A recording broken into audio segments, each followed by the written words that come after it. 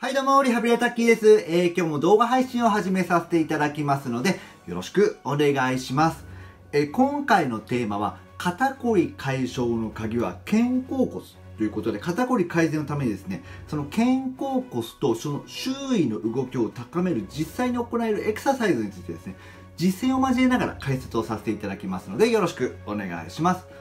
えー、まずその前提としてなんですが、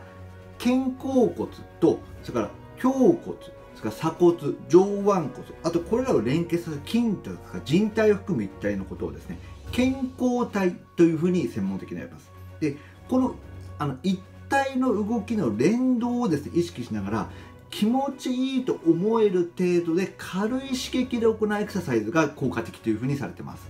で今回そのためのですね肩回しエクササイズというものをまずは紹介させていただきます。で具体的に何するか？まずはスライドの方を見ながらで結構なんですが一方の腕を頭の上をこう超える位置にこうグッと持ってきます。でもう一方の腕は背中の後ろに回してこれで大体5秒止めます。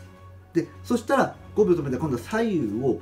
入れ替えて反対側の方でもこうぐーっと行っていきます。でこれを左右入れ替えながら、まあ、大体4回から10回ぐらい一連の動きをですね、繰り返していただけると、あの、肩甲骨のエクササイズ、そういう風になってきます。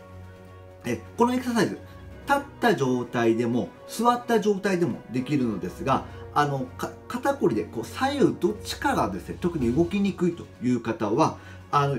動かしにくい方ですね、より時間をかけて行っていただけると効果が高まりますので、あのでこういったそしてこういった形でですね肩甲骨を大きく動かすということであの肩甲骨周りのあの筋をほぐすということが肩こり解消には大変効果的になりますのでぜひあの実践していただけると幸いです。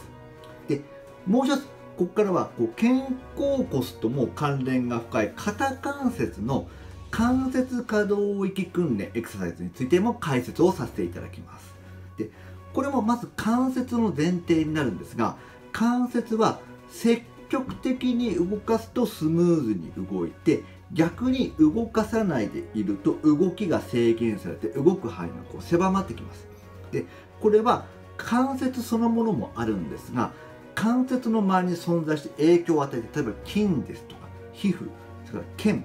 人体神経などのですね各要素にすね負荷がかかりすぎてしまうためにこういったことが発生する。それで動きが制約されてしまっているというふうに考えられています。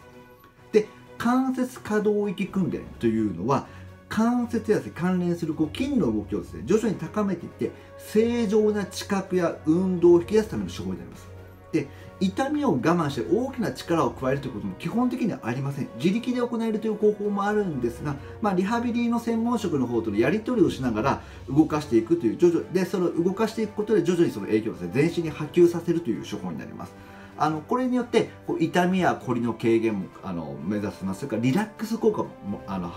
あります。が生活動作あのへの応用というところも図ることができます。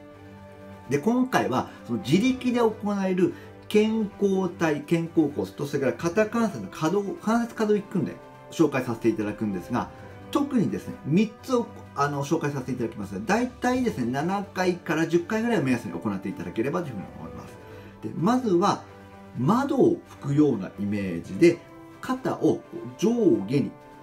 こういうふうに目の前に窓があるようなイメージでこう上下に動かす。これを7回から10回行ってください。で次に目の前に壁があってその壁を押すようなイメージでこれも7回から10回程度行ってください。これが2つ目。で3つ目は後ろにあるあのポケットの財布を取るようなイメージでこういう形で肩を回していく運動。これをですね7回から10回、まあ、全部行っていただければいいかなというふうに思います。